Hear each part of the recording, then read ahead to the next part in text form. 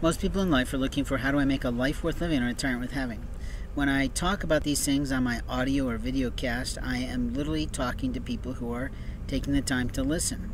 What we know about comments and about numbers and about things on social media networks is that they don't always contabulate or calculate the right way.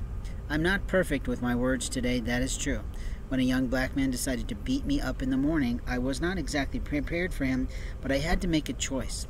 Was I going to plan to protect my brain, or was I going to continue to allow my face to be pummeled?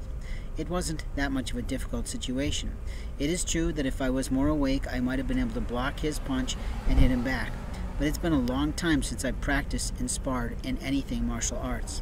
What I can tell you today is that there are people who like to play into shelters, play into networks, pick up people's information, and then use their names to pick up the new money that's coming from the government.